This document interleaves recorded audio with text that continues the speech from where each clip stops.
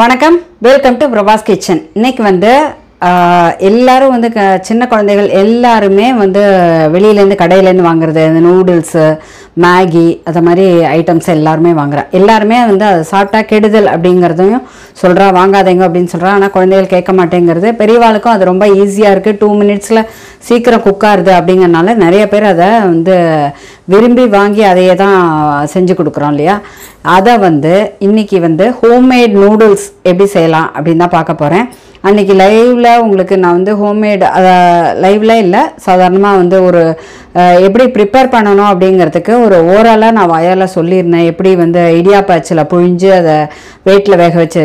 இப்போ அந்த இதெல்லாம் இல்லாமல் ரொம்ப ஈஸியாக நூடுல்ஸ் வந்து நம்ம கடையில் வாங்குற மாதிரி அதே மாதிரி மாடலில் செய்யலாம். அதே மாதிரி செஞ்சுட்டு வித்தவுட் ஆனியன் பூண்டு கார்லிக் அந்த வித்தவுட் ஆனியன் மசாலா பூண்டு அந்த மாதிரி ஒரு இது ஹோம்மேடாக ஆற்றுலேயே எப்படி நூடுல்ஸ் செய்யலாம்னு பார்க்கலாம்.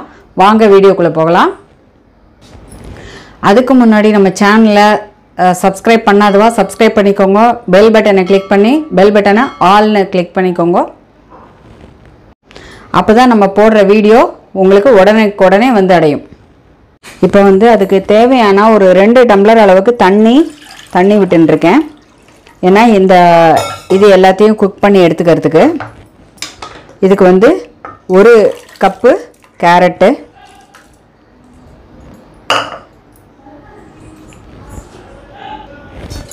இப்போ இது இந்த பாத்திரம் போராது அப்படிங்கிறனால நான் ட்ரான்ஸ்ஃபர் பண்ணிக்கிறேன். பெரிய பாத்திரத்துக்கு ட்ரான்ஸ்ஃபர் பண்ணிக்கிறேன். ஒரு கப்பு சௌ சௌ ஒரு கப்பு பீன்ஸு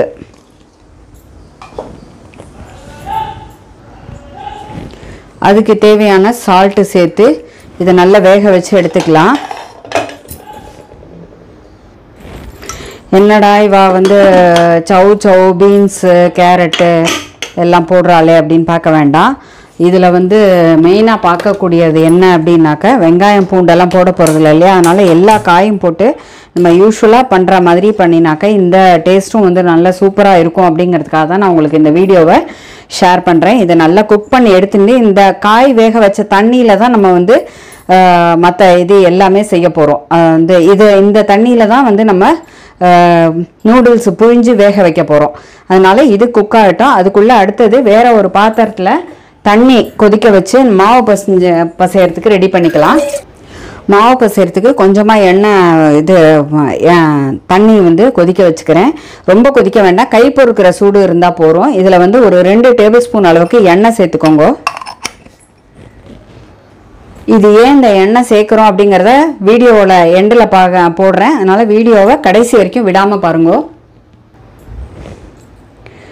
இப்போ இதுக்கு தேவையான இந்த கோதுமை மாவு எடுத்துக்கலாம். மாவு வந்து எந்த கப்பில் வேணாலும் நீங்கள் எடுத்துக்கோங்க. நான் இதால் ஒரு கப்பு ஒன்றரை கப்பு அளவுக்கு ஒன்றரை கப்பு அளவுக்கு சேர்த்துட்டுருக்கேன் இதுக்கு வந்து நான் ஒரு கால் டீஸ்பூன் அளவுக்கு மஞ்சள் பொடி சேர்த்துக்கிறேன். ஏன்னா மஞ்சள் கலர் வேணுங்கிறவா ஆட் பண்ணிக்கோங்க வேண்டாங்கிறவா ஸ்கிப் பண்ணிக்கலாம். அதை தவிர இன்னொன்று வந்து லைட்டாக மஞ்சளாக இருந்தால் போதும் அப்படிங்கிறனால ரொம்ப தெரிய வேண்டாங்கிறனால நான் கம்மியாக சேர்த்துட்டுருக்கேன். மஞ்சள் கலராக கொஞ்சம் நன்னா தெரியணும் மேகி மாதிரி தெரியணும் அப்படின்னாக்கா நீங்கள் இன்னும் கொஞ்சம் ஆட் பண்ணிக்கலாம். இப்போ வந்து இதுக்கு தேவையான உப்பு சேர்த்துக்கலாம். உப்பு சேர்த்து நல்லா கலந்து விட்டுக்கோங்க.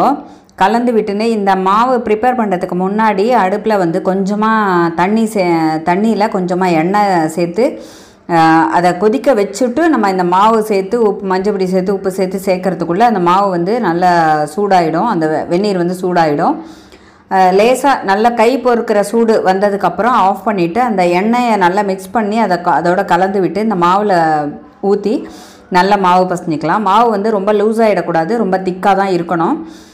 திக்காக இருந்தாக்கா புழியறது கஷ்டமாக இருக்குது அப்படின்னு சொல்லிட்டு நீங்கள் தண்ணியை நிறையா விட்டேன்னாக்கா மாவு புழிஞ்சதுக்கப்புறம் அந்த நூடுல்ஸ் சேர்ந்ததுக்கப்புறம் நல்லா ஒன்றா ஒன்றோட ஒன்று சேர்ந்து நடும். அதனால் கொஞ்சம் ட்ரையாக கொஞ்சம் கொஞ்சம் கஷ்டப்பட்டு புழிஞ்சாதான் வந்து இது பின்னாடி வந்து நல்ல ஒத்த ஒத்தையாக தனித்தனியாக வரும். இந்த மாதிரி நான் மாவு வந்து நல்லா கெட்டியமாக இதை போல் பசஞ்சுக்கோங்க. இப்போ வந்து மாவு ரெடி ஆகிடுது இப்போ இதுக்கு வந்து இடியாப்பாச்சு வந்து ரொம்ப மெல்லிசாக இருக்கும். இது வந்து ரொம்ப பெருசாக இருக்கும். இதுக்கு இதை விட கொஞ்சம் சின்ன சைஸு இது இதையும் வச்சு பார்த்து எல்லாம் தெரியும். இதை விட கொஞ்சம் சின்ன சைஸு இதில் புழிஞ்சா கரெக்டாக இருக்கும். இதில் புழிஞ்சாக்க ரொம்ப நார்மல் மேகி சைஸை விட இது ரொம்ப குண்டாக வருது. வெந்ததுனாக்க ரொம்ப குண்டாக வருது. அதனால் நான் கொஞ்சம் சின்னதில் புழிஞ்சுக்கிறேன். இப்போ இதுக்கு ஒரு சின்ன டிப்ஸு சொல்கிறேன் இந்த வந்து மேகி அந்த மாவு பசையறதுக்கு முன்னாலேயே நம்ம வந்து காயெல்லாம் வேக வச்சு எடுத்துட்டதுக்கப்புறம் அந்த தண்ணியை வடிச்சுட்டு அந்த காயெல்லாம் தனியாக எடுத்துக்கோங்க. அந்த தண்ணியில் கொஞ்சமாக எண்ணெய் சேர்த்து நம்ம மாவு பிசைஞ்சிக்கலாம். மீதமுள்ள அந்த எண்ணெய் காய் தண்ணியிலேயே அந்த எண்ணெய் தண்ணியிலேயே வந்து நம்ம டைரெக்டாக சேவை புழிஞ்சோம்னாக்கா இந்த மேகி நூடுல்ஸ் புழிஞ்சோம்னாக்க நம்ம அந்த காய் வேக வைக்கிற தண்ணியை அதில் இழுத்துண்டு ரொம்ப டேஸ்டியாக இருக்கும். கண்டிப்பாக இந்த டிப்ஸை நீங்கள் யூஸ் ஒரு எலுப்பச்சட்டி போட்டிருக்கேன். இது வந்து காயெல்லாம் வதக்கி நம்ம ரெடி பண்ண நூடுல்ஸ்க்கு ரெடி பண்ணுறதுக்கு இப்போ இந்த பக்கம் வந்து தண்ணி அந்த காய் வேக வச்ச தண்ணியை வடிகட்டி இதை கொதிக்கணும். இது நல்லா கொதிக்கணும். அது நல்லா கொதிக்க ஆரம்பிக்கிறதுக்குள்ளே இந்த தக்காளி மூணு தக்காளி என்ன தக்காளி சாஸ் போடணும் இல்லையா? அதனால் அதையும் ஆற்றுலேயே ப்ரிப்பேர் பண்ண போகிறேன் மூ மூணு தக்காளி இல்லை நாலு தக்காளி எடுத்துட்டு இருக்கேன் அதில் ரெண்டு பச்சை மிளகாய் எடுத்துட்டு இருக்கேன் இதை நல்ல நைஸ் பேஸ்ட்டாக அரைச்சிக்கலாம். இதில் வந்து நான் ரெண்டு டைப் ஆஃப் நூடுல்ஸ் செய்ய போகிறேன் அதுக்கு வந்து ஒரு கப்பில் வந்து ரெண்டு டேபிள் ஸ்பூன் ரெண்டு டீஸ்பூன் அளவுக்கு uh, கார்ன்ஃப்ளவர் மாவு போட்டுருக்கேன் அதில் வந்து கொஞ்சமாக பால் ஆட் பண்ணிக்கோங்க. இது வந்து ஒயிட் சாஸ் பண்ணுறதுக்கு ஒயிட் சாஸ் பண்ணி ஒரு நூடுல்ஸும் இதுவும் தான் பண்ண போகிறோம் இதுவும் ரெடி பண்ணி வச்சுக்கலாம். இப்போ வந்து நல்ல தண்ணி வந்து நல்லா தலைக்க ஆரம்பிச்சாச்சு இல்லையா? இப்போ அடுப்பை சிம் பண்ணிவிட்டு uh, புழியறதுக்கு ஆரம்பிக்கலாம். டைரெக்டாகவும் புழியலாம். கொஞ்சம் புழிய டஃப்பாக தான் இருக்கும். இதே போல் நூடுல்ஸ் வந்து விடாமல் புழிஞ்சுக்கலாம். கட் பண்ணக்கூடாது. கட் பண்ணாமல் புழிஞ்சுக்கோங்க. இதை மாதிரி ஒரு ஒரு ஈடும் தனித்தனியாக ஒரு ரெண்டு மூணு ஈடு வேணாலும் புழிஞ்சுக்கலாம் இல்லை பெரிய பாத்திரமாக வச்சு ஒரே வாட்டி ஆனாலும் புழிஞ்சுக்கலாம் இது டைரெக்டாக வந்து உங்களுக்கு தண்ணியில் புழிய முடியலை அப்படின்னாக்கா நீங்கள் வந்து ஒரு பிளேட்டில் எண்ணெய் தடவி அதில் நல்லா புழிஞ்சுட்டு அந்த தட்டை இதில் வந்து அப்படியே லேசாக தட்டி நல்லா அப்படியே விழுந்துடும். நல்லா கொதிக்க வச்சதுக்கப்புறம் அந்த தண்ணியில் இதை புழியணும். அந்த மாதிரி புழிஞ்சதுக்கப்புறம் புழிஞ்ச உடனே வந்து வந்து கரண்டியோ இதுவோ எதுவுமே போடக்கூடாது. இந்த மாதிரி நல்லா வெந்ததுக்கப்புறம் டூ டு ஃபைவ் மினிட்ஸ் வெந்தால் போகிறோம் அந்த மாதிரி வெந்ததுக்கப்புறம் இதை எடுத்து நல்லா இதை போல் வடிகட்டிக்கோங்க. வடிகட்டி இதை எடுத்துனதுக்கப்புறம் இதை வந்து நல்ல தண்ணியில் பச்சை தண்ணியில் ஒரு பிளேட்டில் இந்த மாதிரி ஒரு கப்பில் வந்து த தண்ணி எடுத்துன்னு அந்த தண்ணியில் போட்டு நல்லா அலசி எடுத்துருங்க. அலசி எடுத்து வடிஞ்சதுக்கப்புறம் அதை வந்து உடனே ஒரு பெரிய தாம்பாளம் மாதிரி எடுத்துன்னு அதை தனித்தனியாக உதுத்து விட்டுடுங்க. கொஞ்சமாக எண்ணெய் சேர்த்து கையால் எண்ணெயால் உதுத்து விட்டு நல்லா உதுத்து விட்டு இந்த தாம்பாளத்தில் பரத்தி போட்டேன்னாக்கா நல்லா காஞ்சிடும். ஒன்றோட ஒன்று ஒட்டாமல் இருக்கும். இதை வடி வடிச்சுட்டு அப்படியே வச்சேன்னாக்க இது வந்து பின்னாடி திரும்ப சேர்ந்தா மாதிரி ஆகும். அந்த பாஸ்தா இந்த மற்ற இது காயெல்லாம் போட்டு வேக வச்சதுக்கப்புறம் அதை எடுக்கும்போது நல்லா சேர்ந்தா மாதிரி ஆகிடுறது கையால் உதுத்து விட்டோன்னா அப்போ வந்து உடையும். அதனால் முன்னாடி எண்ணெய் தடவி தனியாக எடுத்து வச்சுக்கோங்க. இப்போ வந்து ஒரு வானலியை ஹீட் பண்ணிட்டு கொஞ்சமாக ரெண்டு டேபிள் ஸ்பூன் அளவுக்கு நெய் விட்டுருக்கேன் நெய் விட்டு அதுக்கு பால் சேர்த்துட்டுருக்கேன் இப்போ வந்து பாலும் கார்ன்ஃப்ளவரும் சேர்த்து அந்த மிக்சரை இதோட மிக்ஸ் பண்ணி நல்லா கலந்து விட்டுக்கோங்க. இதை வந்து அடுப்பில் இருக்கும்போது நல்லா வெந்து வரும் இல்லையா? அதனால் நல்லா கட்டி ஆகாமல் கலந்து விட்டுக்கோங்க. இப்போ இதுக்கு தேவையான மிளகு பொடி ஆட் பண்ணிக்கலாம். மிளகு பொடி ஆட் பண்ணிவிட்டு மேலே வந்து மேத்தி லீஃப் ஆட் பண்ணி நல்லா மிக்ஸ் பண்ணிக்கோங்க. நல்லா மிக்ஸ் பண்ணி கொஞ்சம் அந்த இது சாஸ் மாதிரி வந்த உடனே அடுப்பை ஆஃப் பண்ணிவிட்டு இந்த வெந்த நூடுல்ஸை வந்து இதோட ஆட் பண்ணிக்கலாம். இப்போ இந்த வந்து ஒயிட் சாஸ் வந்து ரெடி ஆகிட்டுருக்கு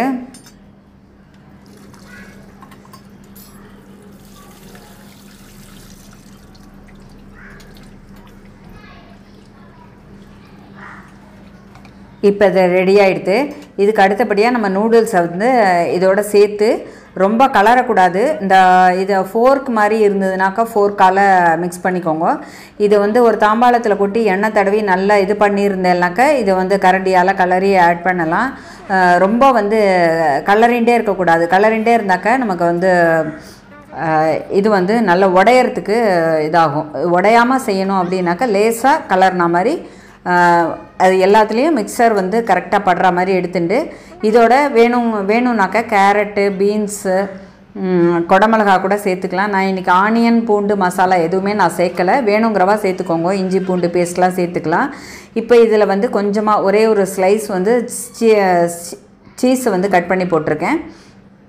இப்போ இதோட மேத்தி லீஃப் ஆட் பண்ணிவிட்டு மேலே கொத்தமல்லி காய் இந்த பீன்ஸும் கேரட்டும் போட்டிருக்கேன். பீன்ஸும் கேரட்டும் போ சௌச்சௌ போட்டிருக்கேன். இது போட்டு நல்லா மிக்ஸ் பண்ணிவிட்டு மேலே வந்து ஒரு கொரியண்டர் லீஃப் ஆட் பண்ணிக்கோங்க. மேத்தி லீஃப் ஏற்கனவே ஆட் பண்ணியிருக்கோம். இந்த ஒயிட் பாஸ்தா இப்போ ரெடி ஆகிடுது ஒயிட் பாஸ்தா பிடிக்கும் அப்படிங்கிறவா இந்த வீடியோ இந்த இதை வந்து நிச்சயமாக பார்த்து நீங்களும் செஞ்சு பாருங்க. இப்போ வந்து ஒரு வானலையை ஹீட் பண்ணிட்டு ரெண்டு டேபிள் ஸ்பூன் நெய் விட்டுண்டு கொஞ்சமாக ஒரே ஒரு அரை டீஸ்பூன் வந்து சோம்பு சேர்த்துட்டுருக்கேன் மஞ்சப்பொடி காரப்பொடி கொஞ்சமாக ஆட் பண்ணிட்டுருக்கேன். போட்டுட்டு இந்த பீன்ஸு கேரட்டு சௌச்சௌ இது மூணும் போட்டிருக்கேன். வேணுங்கிறவா வெங்காயம் குடமிளகாய் எல்லாமே சேர்த்துக்கலாம். என்- நான் இன்றைக்கி வெங்காயம் சேர்க்கல குடமிளகாய் இல்லை அதனால் சேர்க்கல. மீதி எந்த காய் வேணால் இதுக்கு கோஸ் கூட ஆட் பண்ணிக்கலாம். ஃப்ரைட் ரைஸ்க்கு தேவையான எல்லா காயுமே இதுலேயும் ஆட் பண்ணிக்கலாம். பச்சை பட்டாணி இருந்தால் கூட வேக வச்சு இதில் போட்டுக்கலாம். இப்போ இது மாதிரி போட்டதுக்கப்புறம் இந்த தக்காளியும் பச்சை மிளகாயும் அரைச்ச பேஸ்ட்டை வந்து இதோட மிக்ஸ் பண்ணிக்கலாம். பச்சை மிளகாய் ரெண்டு போட்டிருக்கோம் இல்லையா? அதனால் காரப்பொடி தகுந்த மாதிரி பார்த்து போட்டுக்கோங்க. இந்த பச்சை தக்காளி போட்டதுனால தக்காளியோட ஃபுல் ஃப்ளேவர் வந்து ஃபுல்லாக போயிடணும். பச்சை வாசனை போகிற அளவுக்கு நல்லா வதக்கினதுக்கப்புறம் எண்ணெய் பிரியிற அளவுக்கு வதக்கினதுக்கப்புறம் மேலே வந்து மேத்தி லீஃப் ஆட் பண்ணி மேலே இன்னொரு ரெண்டு டீஸ்பூன் வந்து நெய் விட்டுண்டு இதோட இந்த நூடுல்ஸ் வெந்த நூடுல்ஸை நம்ம கலந்து விட்டுக்கலாம். இப்போ வந்து இதோ இதோட டேஸ்ட் இந்த சோம்போட ஃப்ளேவர் மேத்தி லீஃபோட ஃப்ளேவர் இதோடு சேர்ந்து அந்த கொத்தமல்லி எல்லாமே சேர்ந்து இந்த நூடுல்ஸும் வந்து ரொம்ப அவங்க எல்லாருக்குமே ரொம்ப பிடிச்சிருக்கும். இது ஹோம்மேடு அப்படிங்கிறனால வித்தவுட் மசாலா சாட் மசாலாவோ கரம் மசாலாவோ மேகி மசாலா எதுவுமே நான் ஆட் பண்ணாமல் தான் பண்ணியிருக்கேன். இந்த மாதிரி இதை வடிச்சுட்டு இப்போ அப்படியே சேர்த்தோன்னா இது வந்து சேர்ந்த மாதிரி இருக்குது பார்த்தீங்களா இதுக்கு தான் சொன்னேன். கொஞ்சமாக எண்ணெய் தடவி முதலையே வந்து தடவி ரொம்ப நேரம் விடாமல் அது கொஞ்சம் உடனே ஸ்ப்ளிட் பண்ணி விட்டுட்டேன்னாக்க ஒன்றோட ஒன்று ஒட்டாமல் இருக்கும். இந்த ஹோம்மேட் நூடுல்ஸ் கண்டிப்பாக உங்கள் வீடு இந்த வீடியோ வந்து உங்கள் எல்லாருக்குமே ரொம்ப பிடிச்சிருக்கும்.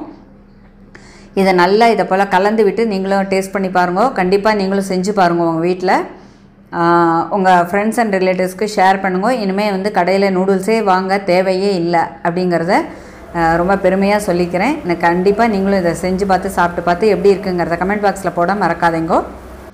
மீண்டும் அடுத்த ஒரு நல்ல வீடியோவோட சந்திக்கிறேன். வணக்கம்.